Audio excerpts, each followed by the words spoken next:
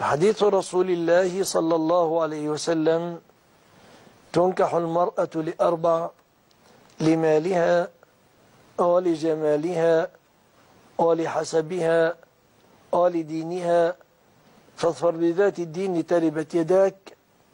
الحديث ثابت صحيح.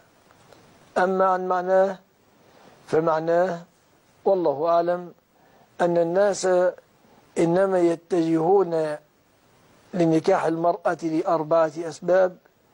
منهم من يتجه لنكاحها بسبب مالها. منهم من ينكحها بسبب حسبها. منهم من يتزوجها لجمالها. ومنهم من يتزوجها لدينها.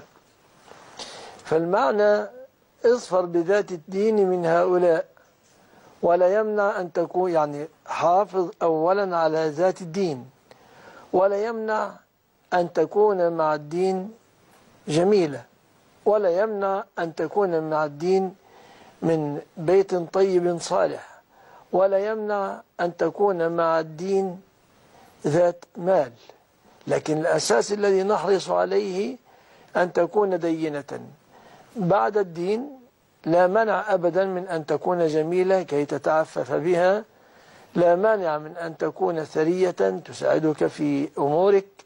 لا مانع من أن تكون من بيت طيب يعينها على طاعة الله ومرضاة الله.